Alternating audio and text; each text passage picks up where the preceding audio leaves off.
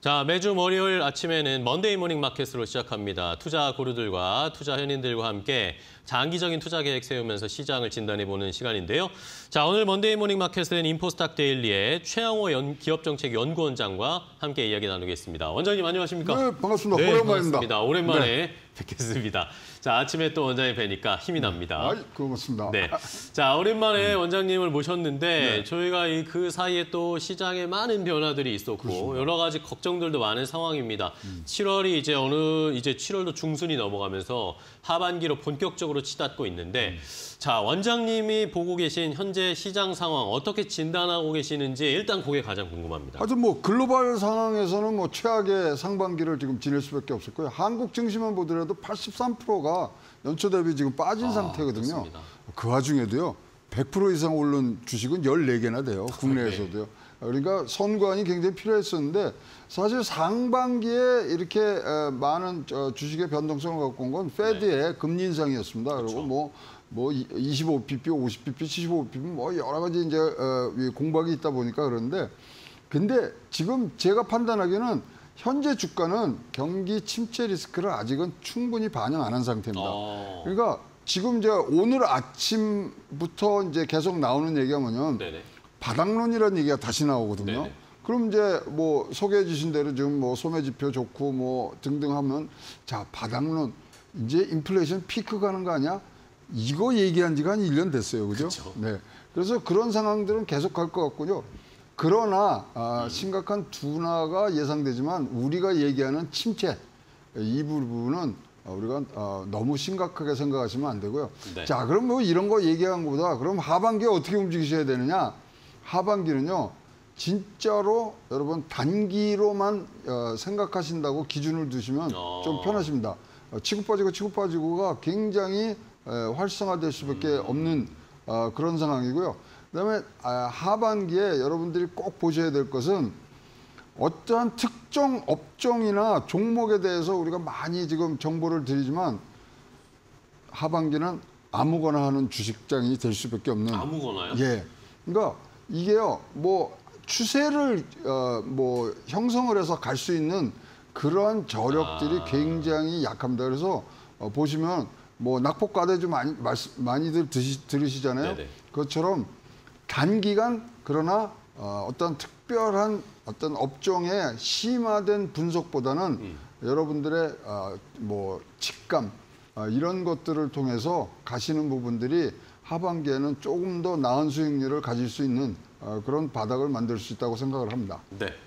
자, 말씀해 주신 것을 뭐 생각을 하고 정리를 해보면 시장에 어쨌든 하반기에는 빠르게 빠르게 그냥 대응을 해야 되는 상황이고 어떤 업종의 뭔가 심화, 종목을 심화에 심도 있게 뭐 공부해서 투자를 한다기보다는 수익을 줄 수 있는 것을 빠르게 빠르게 좀 체크하는 게 필요하다라는 의견이실 것 네, 같은데요. 근데 이제 그렇게 말씀을 드렸지만 그 어, 저간에는 뭐죠? 뭐, 뭐 무슨 말이 있냐면요.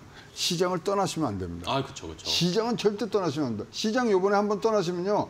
3년 후나 돌아오실 수 있어요. 아. 평균적으로 뭐 3, 4년 걸려서 다시 어, 오는데 지금 장은 굉장히 기로에 서 있기 때문에 지금 시장을 떠나신다면 어, 그런 좋은 찬스를 또 한번 한 텀을 놓치실 수 있는 어, 확률도 굉장히 높아지기 때문에 어, 아까 말씀드린 대로 단기 그다음에 특별한 기준보다는 어, 여러 가지를 어, 한꺼번에 보시는 어, 그런 부분들이 어, 굉장히 좋은 어, 상황이라고 보여집니다. 알겠습니다. 자, 결국에는 시장을 떠나면 안 되겠습니다. 지금 시장이 너무 어려운 상황이지만 결국에는 시장은 사이클이고 그렇죠. 또 다시 바닥을 찍고 올라올 수 있는 그 타이밍을 잡는 게 지금 우리에겐 가장 중요한 맞습니다. 것이기 때문에 시장을 떠나버리면 아예 그 기회조차 우리가 잡을 수가 없다라는 것을 강조를 해주셨고요. 자, 이런 상황에서 또 글로벌 이슈들을 조금 더 그, 그 구체적으로 살펴보면 미국에서도 지금 경기 침체 이야기는 계속 나오고 있고 유럽 쪽에서도 최근에 아, 경기 침체에 대한 우려감들이 커지고 있는 상황입니다. 이러다 보니까 이것이 전이 되면서 우리 시장에도 자연스럽게 부담을 줄 수밖에 없는 상황인데 자, 이런 상황에서 어떤 포인트에 좀 더 주목을 해봐야 될까요? 유로존의 경기 침체 지금 이제 뭐 사실 어, 뭐 tail risk라 그랬던 가스 중단이 진짜 네네. 현실화가 됐어요. 왜냐 10일부터 노스트롬 1에 대해서 지금 정기 점검을 하면서 100% 끊어버렸거든요. 예, 그러면 그게 어떤 식으로 갈 거냐? 근데 어, 확실히 지금 나오기는 어, 뭐 우리가 생각합니다. 굉장히 어려운 상황으로 갑니다. 뭐 달러 대 유로화가 지금 페러티가 완이 깨지는 상황. 근데 지금 미국하고 유럽의 인플레이션의 원인이 완전히 지금 뭐 상반되게 뭐 상반된 것까지는 아니겠습니다만 결이 주 원이 결이 다릅니다. 네네. 어, 지금 뭐 유럽은 아시겠지만 천연가스발의 그런 어, 경제 침체고요. 미국은 모든 상품에 의한 지금 어, 어. 이 인플레이션이기 때문에 전 세계가 과거에 인플레이션을 잡을 때 보면 한 방향으로 같이 나갔었거든요. 네네. 근데 이번에는 조금 어, 결이 다른 부분들인데 그럼에도 불구하고 어, 유럽의 경기 침체성은 굉장히 낮다고 지금 보여지는 게 어, 근원 인플레이션 괜찮고요. 안정적인 노동 시장 있고요. 그다음에 가스 공급 정면 주당 이거 일어날 확률이 굉장히 낮은 테일 리스크인데 요번에 이제 정기 점검을 지금 10일간 하는 부분들에 있어서 그것이 어떻게 돌아오는지를 한번 봐야 될 것 같고요. 어, 지금 현재 미국이나 유럽이나 사실 이, 이 장에서 주식 시장에서 경기 침체다고 한이 예언한 게 아홉 번인데 네. 진짜 경기 침체로 간 어, 확률은 예, 다섯 번밖에 없습니다. 그래서 어. 어, 항상 에, 증시라든가 이런 어, 금융시장이 조금 더 어, 과잉 반응을 하는 부분들이 그렇죠. 있는데 자 이번에는 걱정되는 부분들이 에, 달러 유로 환율이죠. 네. 페르트 깨진 부분들을 어떻게 수습해 나가느냐 아, 이런 부분들이고 이 뭐 달러 이 저 유로. 어, 유로의 세계에서 제일 중요한 어, 환율이거든요. 그렇죠. 그러면 이거에 따른 기업 변동성, 어, 환율 변동성의 이 기업 리스크 이런 것들은 어, 지금 더 커지고 있는 상태라고 보여집니다. 네. 자, 유럽 쪽에서는 지금 가스가 부족해서 뭐 폰데어레인 EU 집행위원장이 아제르바이잔에 가가지고 여기에서도 가스를 가지고 그렇습니까요. 오겠다라는 네. 이런 이야기까지 오늘 주말 사이 외신들이 나오고 있는 상황입니다. 자, 그렇다면 우리 시장도 여전히 좀 방향성을 잡기가 힘듭니다. 지난 금요일에 뭐 반짝 뭐 반등, 삼성전자가 반등이 나오기는 했지만 그렇다고 추세가 완전히 전환된 것을 기대하기 너무 힘든 시장 상황인데 자, 그렇다면은 단기적으로 뭔가 좀 반등이 나올 수 있을지, 바닥을 좀 잡을 수 있을지 우리 시장에 대한 궁금증도 커지고 있습니다. 지금 뭐 저는 이거는 베어마켓 레일이라고 볼 수밖에 없는 어. 상황이고요. 지금 뭐 어, 여기에서 어, 지금 이게 확 추세를 예, 이루는 그런 네. 아, 힘들은 없는 것 같습니다. 그러나 지금 지수 변동성이 너무 크지 않습니까? 그러니까요. 근데 수급이 너무 약해요.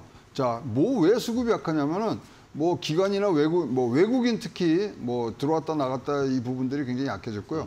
우리 개미들의 지금 뭐 사실 여력이 굉장히 떨어진 상태지 네. 않습니까? 그래서 지금 지수를 보시면요.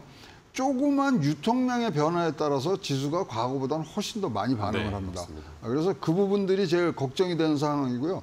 자, 아주 찐 바닥을 확인해야 되는데 그 어느 때보다 지금 어려움이 있고요. 지금 공매도 얘기들 많이 하시잖아요. 네네.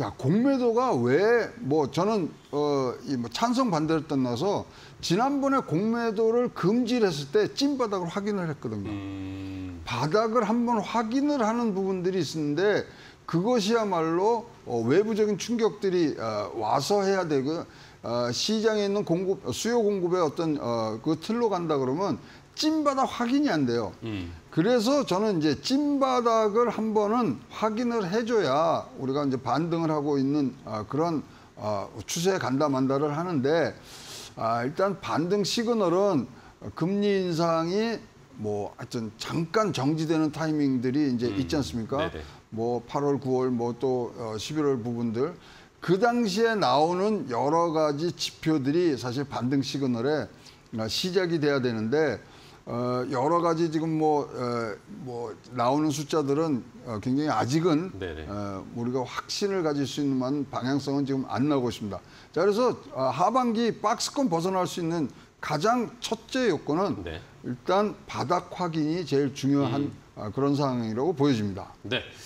자, 바닥은 계속 저희가 확인을 하면서 찾을 수밖에 없는 상황입니다. 우리가 발끝이 좀 닿을지 시장의 상황은 계속 지켜봐야 되겠고요. 자, 또 중요한 것이 뭐 시장의 수급에 또 영향을 주고 있는 게 지금 환율입니다. 네. 환율이 계속 올라가고 있고, 뭐 물론 달러 대비해서 전 세계 통화들이 전부 다 지금 환율이 올라가고 있는 상황이긴 하지만 우리 시장도 이 환율에 민감할 수밖에 없는 시장이다 이다 보니까 이것을 체크해 볼 수밖에 없는데 자, 그나마 뭐 다행이라고 해야 되고 뭔가 돌파, 돌파구가 나올 수 있을지 이번 주에 제니 델런 재무장관이 네.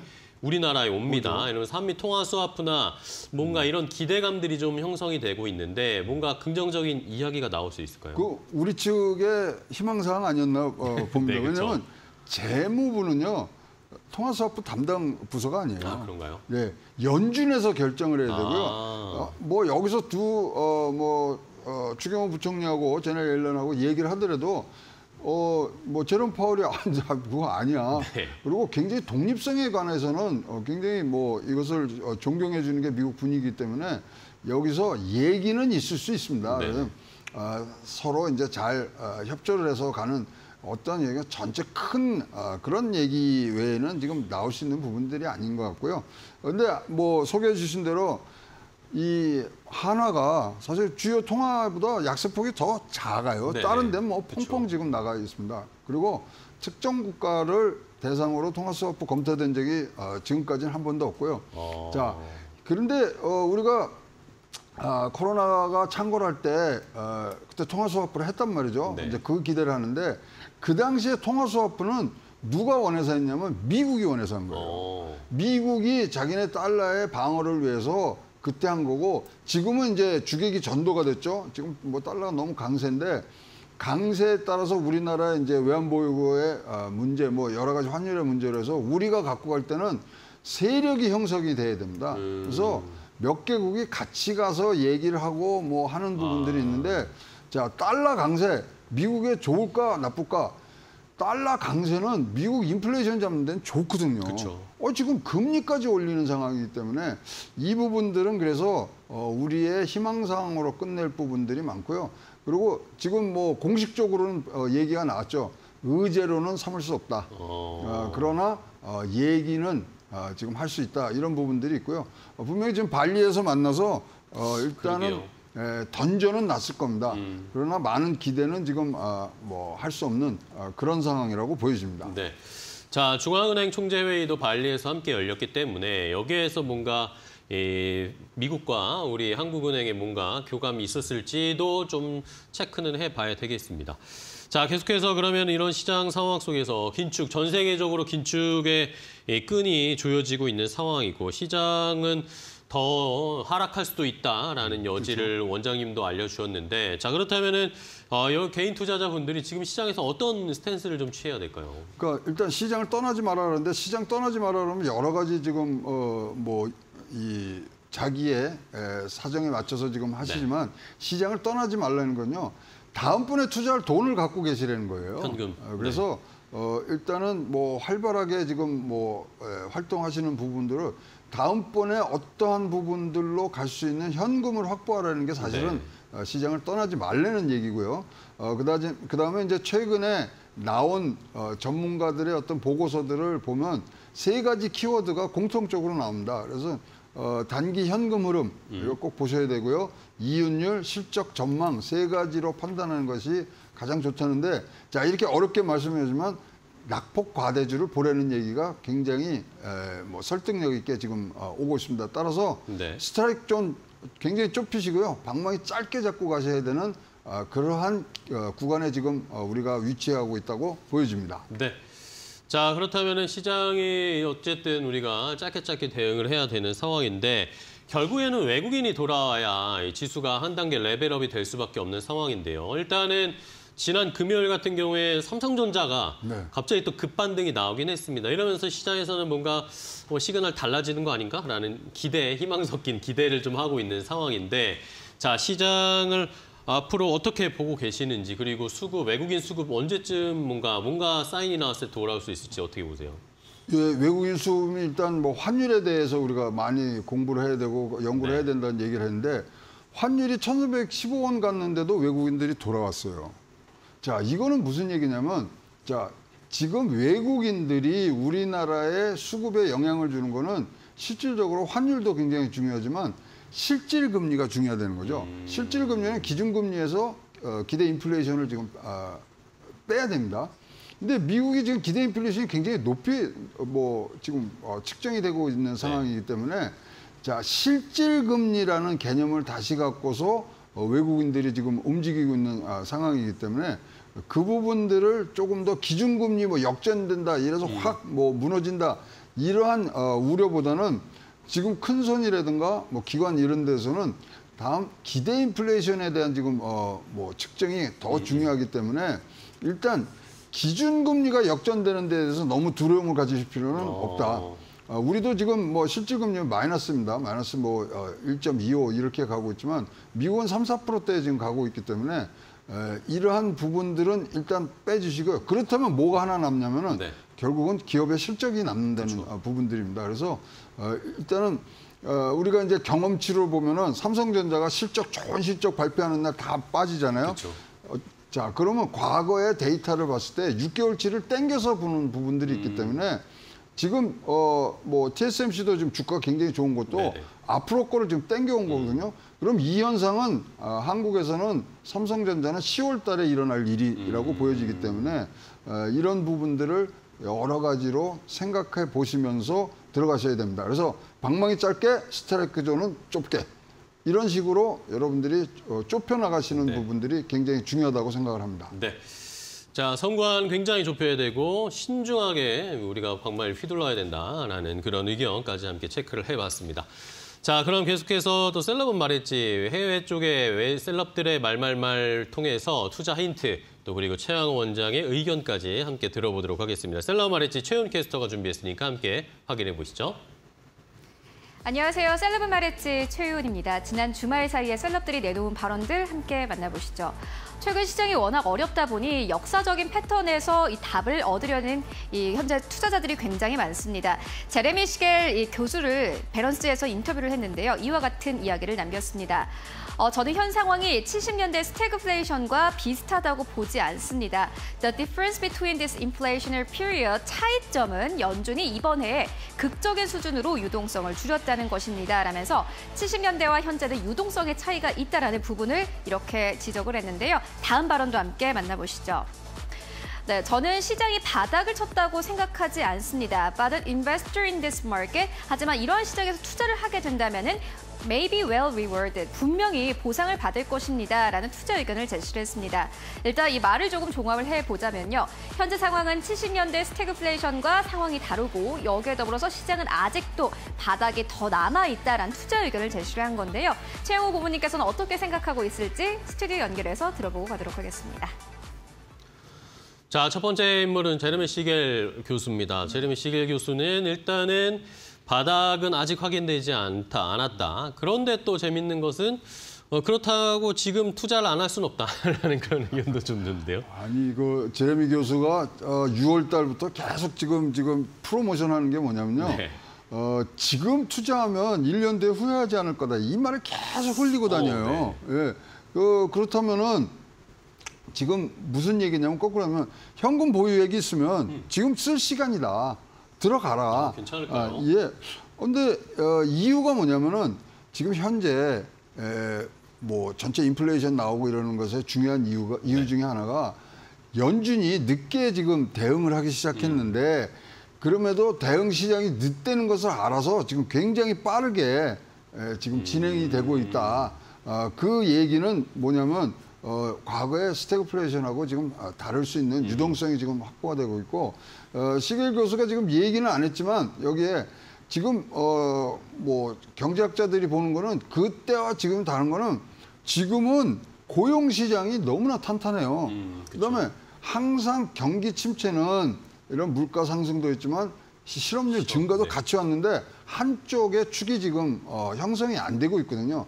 그렇다면은 제레미 시골 교수의 어, 지금 바로 어, 행동에 옮겨라 이 말은 굉장히 지금 타당성을 갖고 지금 어, 부분들이 있기 때문에 저가 매수의 기회라고 보여집니다만은 하여튼 인플레이션에 대해서는 앞으로 페드가 더욱더 적극적으로 와서 유동성이 빠지는 부분까지도 어, 우리가 고려를 한다면 어, 뭐제 투표도 제레미 시걸 교수의 이 발언에 어, 찬성표로 갈 수 있다고 생각을 합니다. 알겠습니다.